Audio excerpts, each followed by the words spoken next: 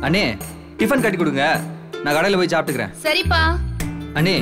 என்னப்பா? என் வண்டி சாவி பார்த்தீங்க இதோ கொண்டு வரேன்ப்பா. அண்ணே செலவுக்கு ஒரு நூறுரூவா வேணும். வந்துட்டேன் ஜீவா. ஒரு நிமிஷம். இதெல்லாம் பண்றதுக்கு நான் இருக்கேன்ல. அது உங்களுக்கு புரியவே புரியாதா? அது இல்லம்மா. வந்து. அண்ணே நேரம் ஆச்சு அண்ணே. கொடுங்க. இந்தாங்க. தேங்க்ஸ் அண்ணி. ஓ நீயா? எல்லாத்துக்கும் அன்னி புராணம் தானா? இப்ப உங்களுக்கு கல்யாணம் ஆயிடுச்சு. தெரியும்ல? இதுல என்ன இருக்கு?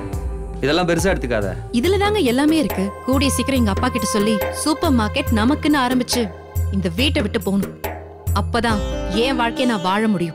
கடவுளே இந்த குடும்பத்தோட ஒத்துமை மட்டும் கலைஞ்சு போயிடக்கூடாது. அன்பை பரிமாறும் அண்ணன் தம்பிகளின் கதை. பாண்டியன் ஸ்டோர்ஸ் அக்டோபர் ஒன்று முதல் இரவு பத்து மணிக்கு.